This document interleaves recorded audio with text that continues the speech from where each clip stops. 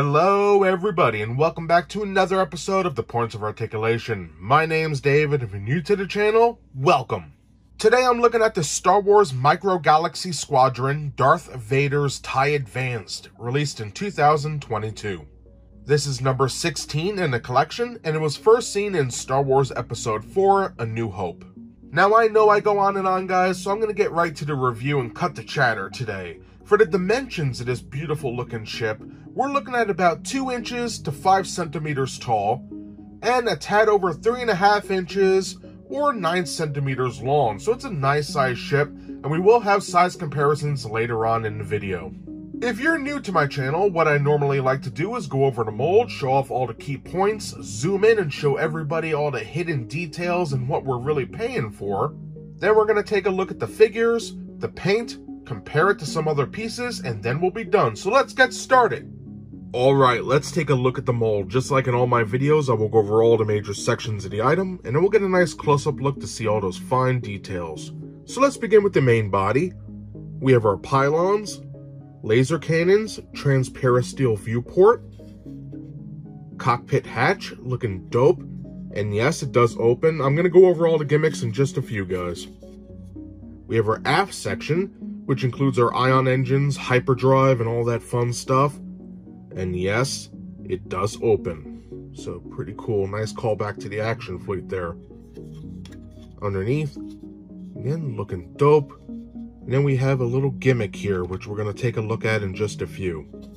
Moving on, we do have our wings with our solar array panels or radiator panels, some supports, and also the wing brace slash power converter, which goes to the inside as well.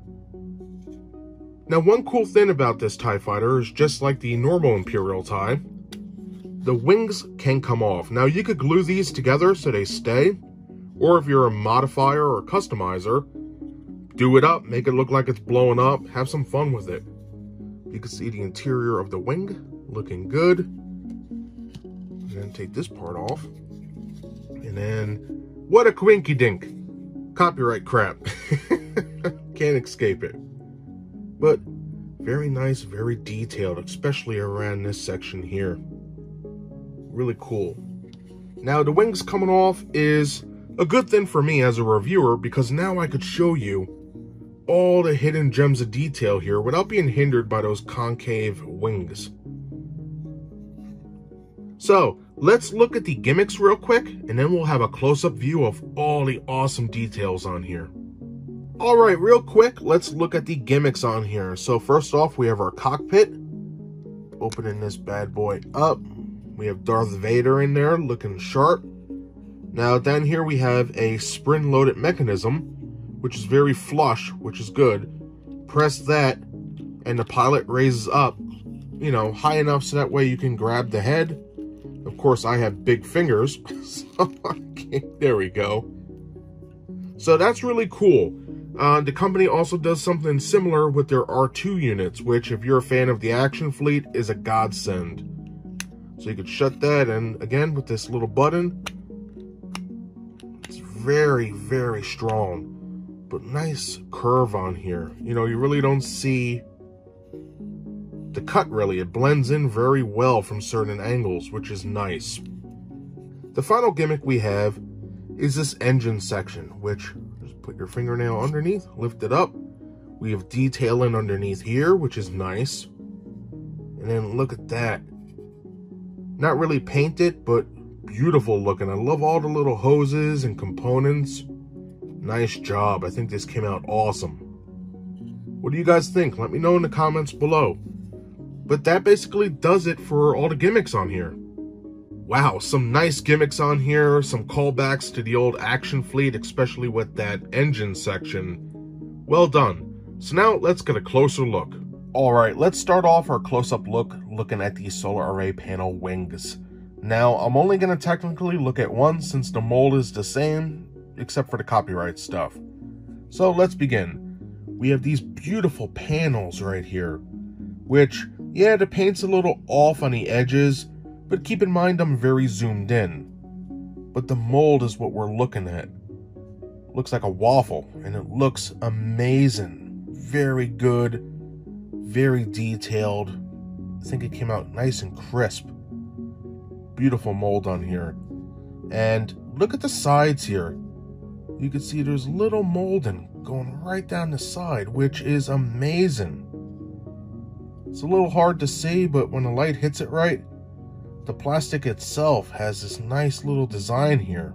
You can see it on the side right here, which is simply amazing. Lots of detail with this company. I mean, lots of detail. It might not look it because it's all like a flat gray, but fantastic. Here we have our panel again, looking beautiful. So, of course, we have our little doodads here and there on the wing, which is nice. We have our supports and wing brace, which when you look at that, it's all protruding out. You have some nice modules on there, looking very cool. More doodads coming down the sides, which is nice. And of course, we have those beautiful panels, which look fantastic. Here's the bottom. Very sharp. So for the interior, it's basically the same thing, just with a different midsection. But again, beautifully detailed.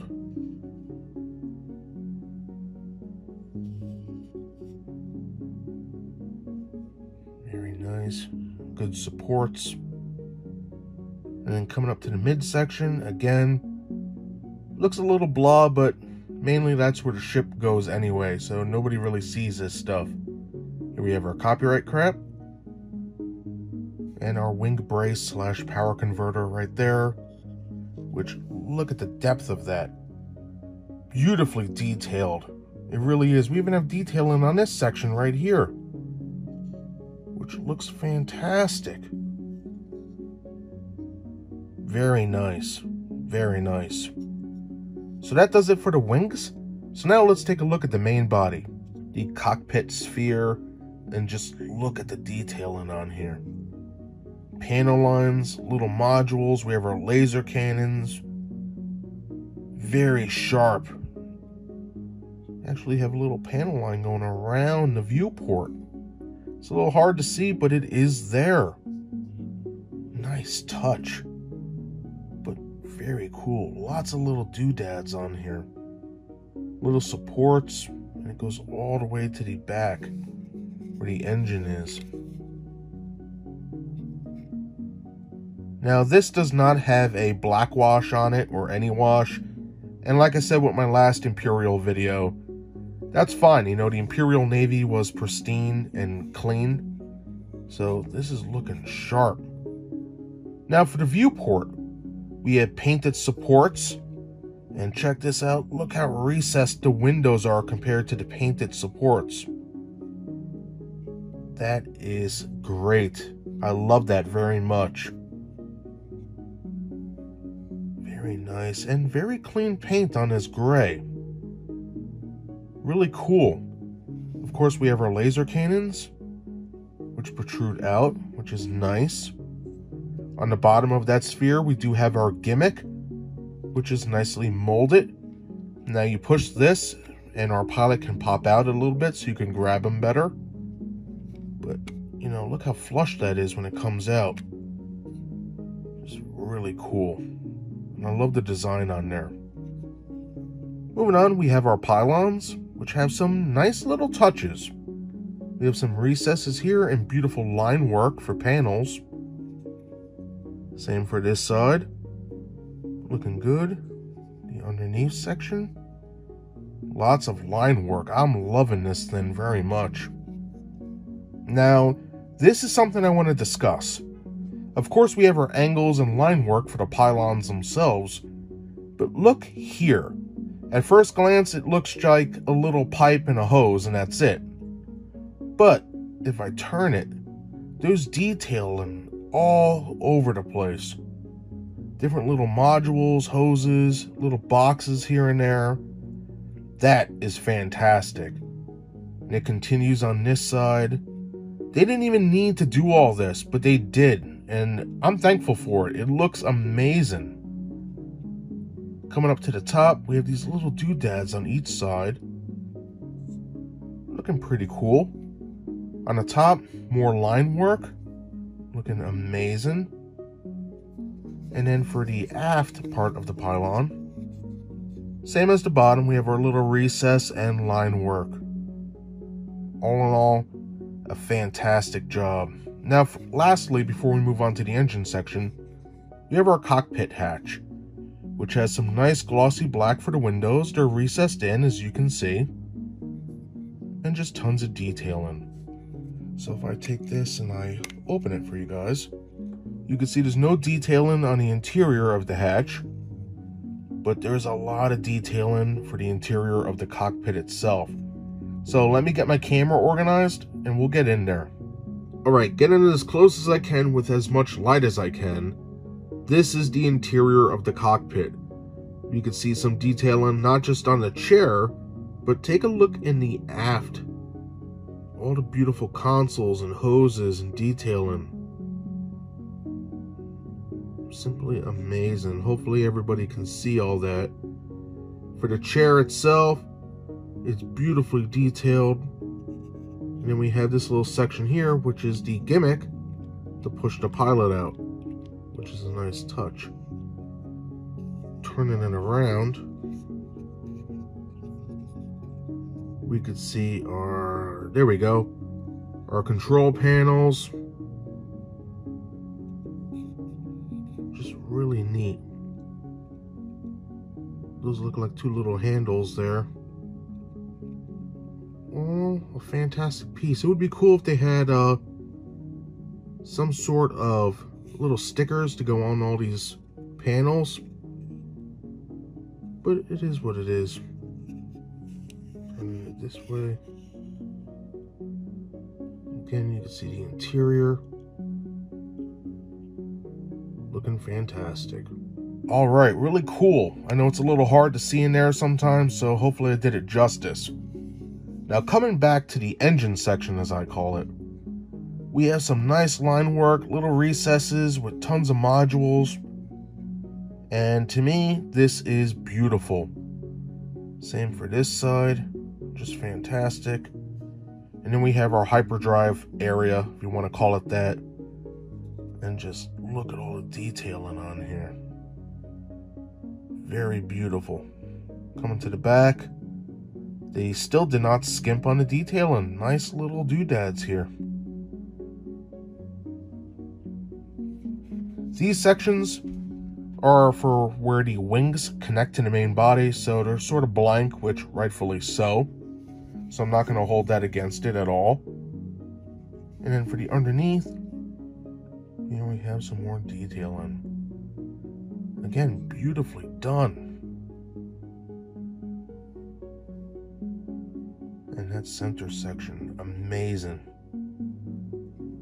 Now let's take a moment and crack this bad boy open. And you can see that they actually detailed the interior of the hatch with some nice line work. They didn't even need to do that. And then for the interior of the engine section, look at all the hoses and pipes and modules. Our hyperdrive engine. This looks beautiful. Now this area, I would have liked a little wash just for the interior to show off all this, but it is what it is. I think it looks amazing. Very cool. What do you guys think? Let me know in the comments below. A fantastic looking ship.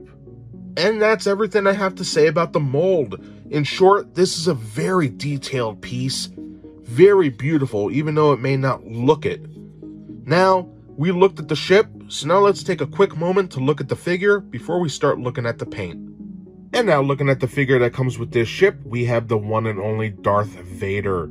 He stands about 1 inch or 2.5 centimeters, and for his paint, he has glossy black, silver, and matte black. And this guy is pretty cool. We can see all the detailing on there looking sharp.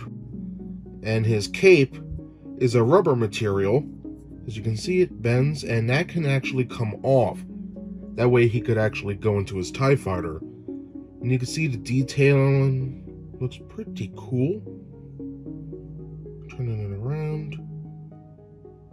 Around. Look at that. His control panel's nicely done. Pretty neat. Now, when looking at him without his cape, doesn't he sort of look like the Jedi armor that they had in the Clone Wars? Hmm. Pretty cool. And his helmet's nicely done as well. All the details are there, which is pretty cool. For articulation, his arms are able to spin all the way around, which is nice. And his legs can bend all the way that way, which is pretty cool. All in all, a nice minifigure. So I know some people want to see some size comparisons. So let me grab old Luke Skywalker here. Straighten him out. And you can see Darth Vader is just a little bit taller. Line up the boots. Hmm. Let's look at a TIE pilot. Let me get him lined up for you guys.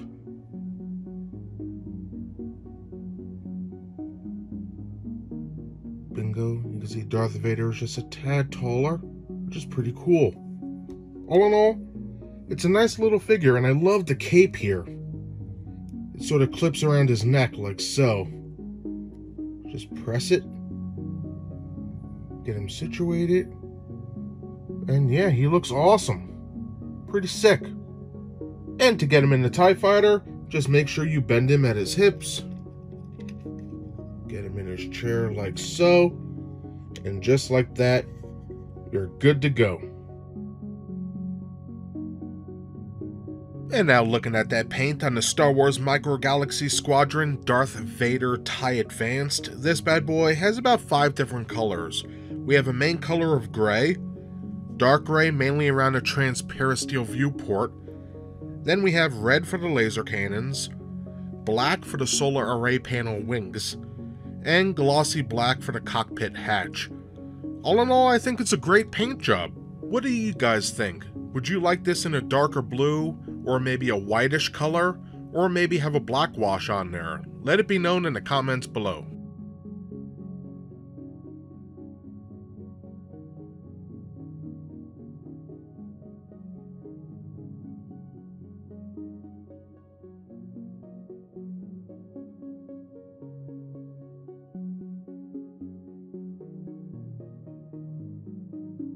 For a quick size comparison with the Star Wars Micro Galaxy Squadron Darth Vader's tie seen in the center, I have it next to some other Micro Galaxy Squadron vessels. First, on the right hand side, we have Luke Skywalker's X-Wing, Red 5. And then on the left hand side, we have the Imperial TIE Fighter. I'm not gonna lie, these all look great together. Are they exactly to scale? No, but I feel like they work very well as a collection, and I'm very happy to have these. As always, if you would like to see reviews of any of the ships I showcased today, check the links in the description below. And that does it today for my review of the Star Wars Micro Galaxy Squadron Darth Vader's TIE Advanced, released in 2022. I like this thing, I think it's awesome. I think the mold is amazing, the paint is spectacular, it has paint where it needs it, and yes, when we're super zoomed in, it looks a little sloppy here and there. But when you have this in your hand, you're not that close and it looks fine. Like right now, the paint looks decent. It's good. You know, I'm really not worried about it.